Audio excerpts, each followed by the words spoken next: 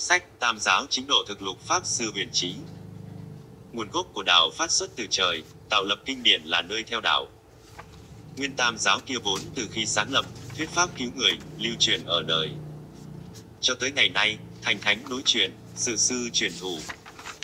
Rằng giặc ngàn xưa, không suy không khuyết, đạo diễn Phật Pháp, đưa muôn dân lên cõi thọ.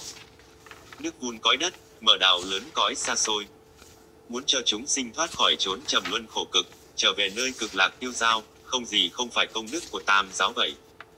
Nhân tử hiếu đệ, có đời nào không? Báo đáp thủy chung, nhà nào cũng có.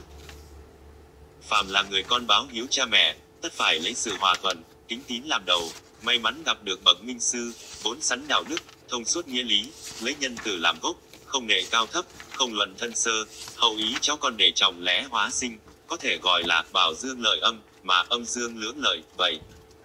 Bản in lại theo nguyên gốc, chỉ còn vài bộ.